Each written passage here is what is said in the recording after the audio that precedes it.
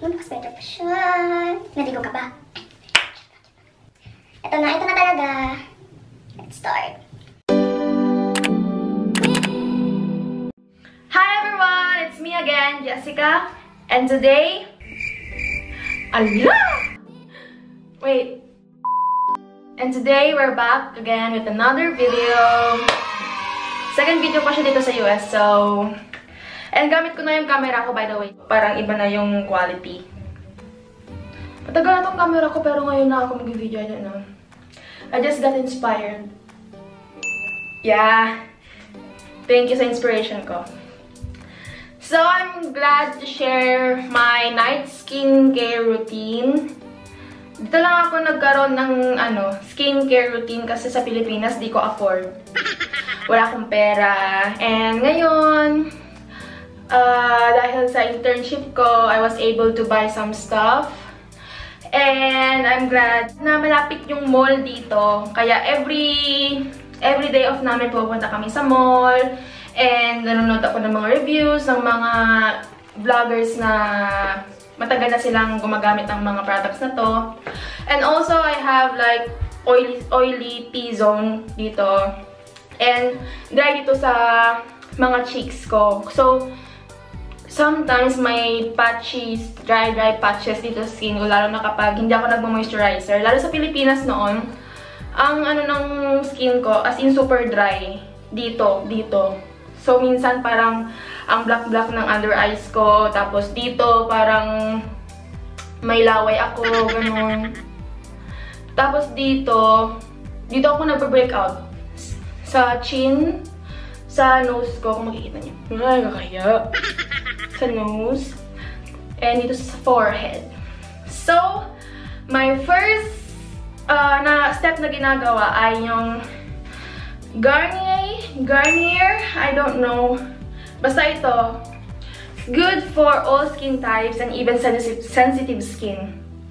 Eh, sensitive skin ako, as in talaga. Kaya, yung mga binibili ko, pero pinapanood ko muna siya sa YouTube, yung mga reviews, bago, siya, bago ko siya binibili. And all-in-one na kasi siya. Ito yung nagustuhan ko. It removes makeup. And hindi naman ako palagi nagbi-makeup. Which is, sa noon, ano lang, uh, noon, BB cream lang, tapos lip tint, ganun, or pulbo at lip tint lang. Pero ngayon, syempre, may pambali na ng punda, punda, funda, ayun. So, ito, all-in-one, removes makeup, cleanses, and refreshes. This is it. Ito yung gin um, ginagamit kong parang toner na rin.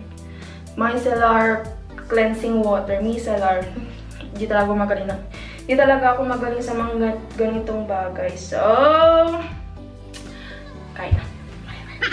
Tapos, uh, kasi ang gusto ko dito, no oil, no alcohol, no fragrance. Kasi nga, sensitive skin ako, um, yung, ayaw ko yung may amoy. Kaya, ito yung pinili ko. Tapos, first time kong ginamit, swak naman siya. And, yung isang bottle ko na binili galing sa Pinas, ubos na siya.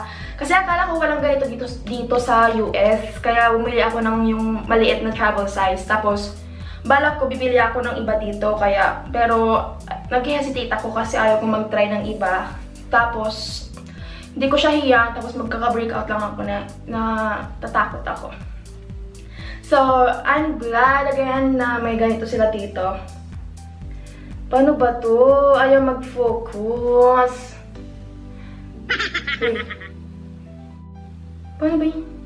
Basta ito na lang. Yung color pink. And yung round, cotton rounds na binili ko. Binili ko lang siya sa Walgreens.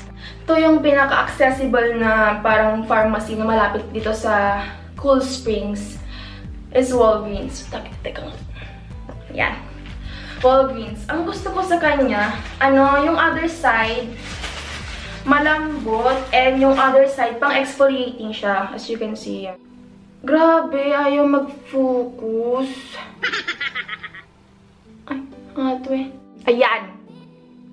See? Yung kabila ganyan, and yung kabila. Smooth siya. So, let's first kasi nag-makeup ako kanina. Yung uh, itong BB cream. Saan yung BB cream ko?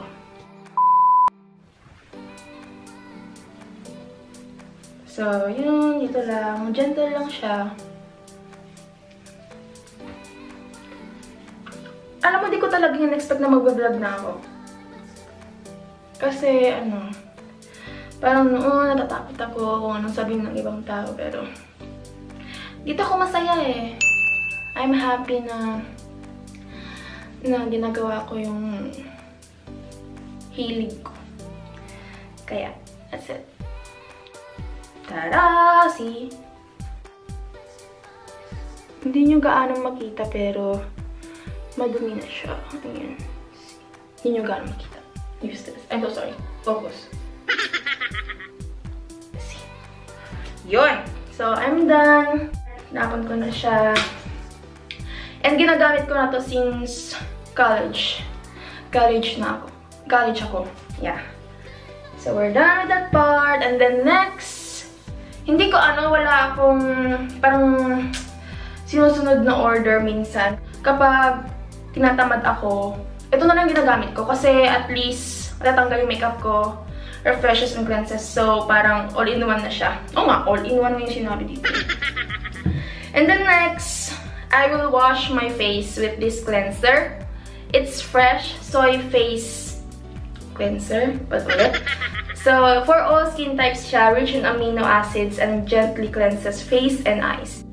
Tapos maganda to kasi nakikita ko sa reviews. Ito yung pinakamagandang cleanser sa Sephora. Yung pinakamagandang stars. Oo, pinakamaraming stars. So, eh, by the way, ito pala yung lalagyan niya. I forgot to tell you. To show you. Ito yung lalagyan niya. And, ito yung packaging niya. See, maganda naman siya. And, ito yung back. So, I'll just wash my face. And, um, kasi may, ano eh, may mga uh, damit dito na lalabhan ni Raven. Kaya di ko ipapakita. And, um, I will just show you yung foam-foam niya. Hindi siya gaano mabula, guys. Yun lang. Kasi gel, parang gel siya, pa, kaya hindi siya mabula. Pero maganda siya. At first, nung first time na ginamit ko, nung first time na ginamit ko to, medyo nag-sting, may stinging effect siya, ganun. Kaya medyo nag-worried, word, medyo nag-worried, medyo nag-worry ako baka hindi siya fit para sa akin. And one week ko na siya ginagamit. And ngayon, hindi naman siya nagre-react. Yun lang, yung face ko. Okay naman siya. So, I will just wet my face. Wait lang. One eternity later. Ayun! So, I will just put um, a little bit na, ano, parang pea size, ganun. Ganyan. Tapos, kakag ko na siya kamay ko. And then, strangle motions. Ganyan. Can see? Wala oh. Parang malolo. Hindi siya mabula. Gel nga. Gel, gel base. Ganito ako mag-apply ng ano, face cleanser. Ganyan.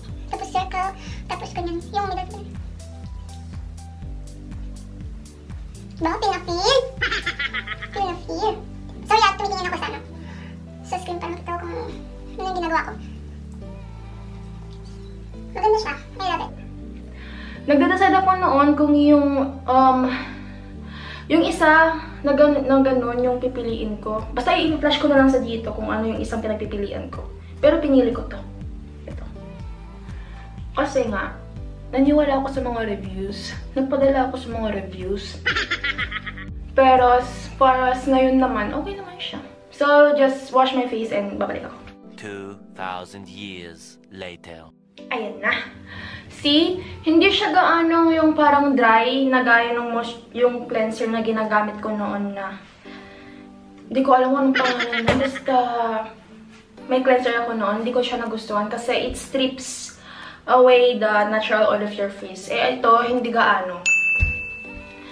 Malambot pa rin siya and then but and then but but you feel na parang malinis yung face mo. So, Maganda to. And also, this is... Nandito pa yung resibo ko. This is uh, $15. Plus tax pa. Kaya mga $16 siguro. $16.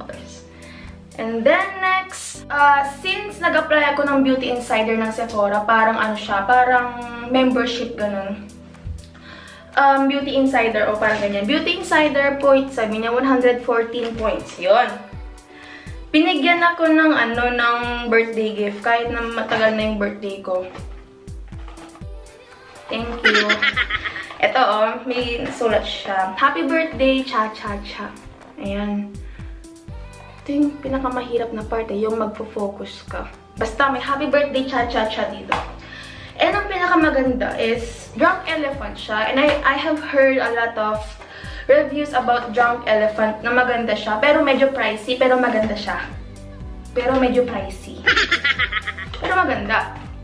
Tsaka, itong laman na to, ay lang yung laman niya, is itong maliit na, hindi ko kung cleanser to. Oh, cleanser nga. Jelly cleanser. And itong, I think moisturizer to. Hindi ko lang basahin, hindi ko na itatry. Proteiny, yun yun. Proteiny na ano, Drunk Elephant. And ito naman yung jelly cleanser na color orange yung ano. Hindi ko pa siya ginagamit kasi since I'm using this one, hindi ko lang pwede pagsabay-sabayan. So, ito yung packaging ng cute-cute. And may, may ano ako ngayon, may pimple ako dyan sa side ng nose ko. Dito ako nag, nagpipimple. Nagpipimple lagi. Dito lang. So, ito na. Maliit lang, maliit lang yung, ginag yung kinukuha ko ganyan ng karami. Dito, dito. Yan. And then yung pag, um, pag spread. Spread. O, oh, ganyan lang siya. Sa nose, ganun.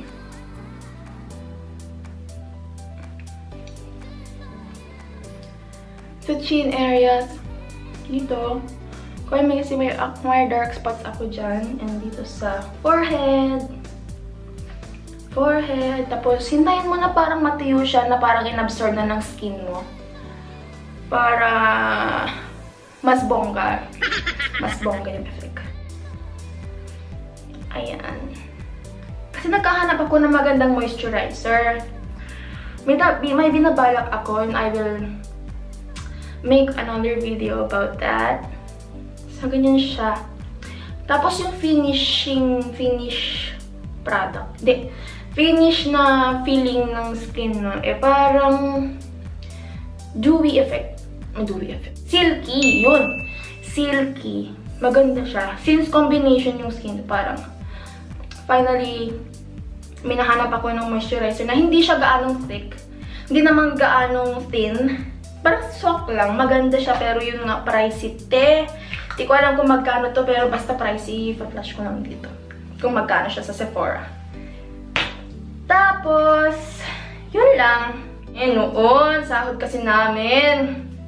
Pumunta kami sa Sephora, tapos mga ting, dami nung. Ayun. So, that is my night skin night skin care routine. And once a week or three times a week, um, gumagamit ako nito sa Pilipinas pa to.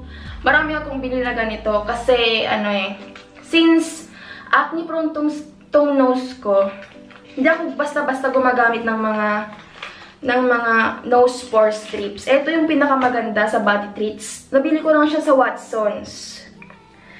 Ito. And then also, ito yung ginagamit ko lang sa Pilipinas. Pero hindi ko na siya tinuloy kasi hindi ko alam kung saan ako makakahanap ng ganito. The Face Republic. Korean brand to eh. Ito yung isa, yung Gold, Gold Mineral Cleanser and Crystal Glow Whitening Cream. Yan. Tapos may BB cream din siya. Ay! Oo nga, ito yung BB cream na ginagamit ko. BB Holic. Wait lang ah. Wait lang. Ito yung BB, ano, messy-messy. Yan, BB Holic ng Eye White. Nakakainis. Ito yung problema ko. Yan, baby holic ng eye white. Yan. Ito yung ginagamit ko kapag nag-usher nag -usher kami or usherette noong college. Kasi wala kang pambili ng foundation. Kasi mahal. Kaya nagbi-BB cream lang kami. Ito yung ginagamit namin magbabarkada. I love it. Ito. Tapos yung eye white na aqua moisturizer, yun din yung ginagamit ko ngayon. Ay, noon. Pero hindi ako nakabili kasi nga, ano, Wala lang. Tapos, um, bumili din ako ng isang um, moisturizer. Itong Garnier, Garnier Skin Active na Hydrating. Made with aloe juice. Ito yung binili ko na nauna dito sa sa Amerika. Sa Amerika pala. Amerika. Eh, sabi ko nga, bakit um, maganda tong Garnier sa akin? Maganda tong Garnier sa akin. Pero, kaya, trinay ko na bumili ng same, ano, same brand. Kaya, pero, hindi siya nag-work para sa akin. Parang nagka-hives, nagka-tuldo-tuldo ako. Tapos, ang init niya sa mukha. Kahit na, kaya ginagamit ko lang siya sa gabi minsan kapag ano. Or ito kasi everyday, morning at night. Ito naman once a week or twice a week, pang night siya para mag ibabad yung mukha ganun. Well, that's it! Yun lang, um, alam ko medyo simple siya kasi hindi pa ako nakabili ng marami yung parang facial mist, facial foam, facial ganun, ganyan. Uh, eh, naiihira si Julie. Naiihira siya. Kaya, I will end this video now and comment down below kung ano pa yung gusto nyo, gusto nyong gawin ko on my next video and please like, subscribe, and yun lang. Share! Share! May bumulong sa akin eh. Share daw. May coach ako sa labas. So, like, subscribe, and share this video to your friends. And thank you! Bye! Peace!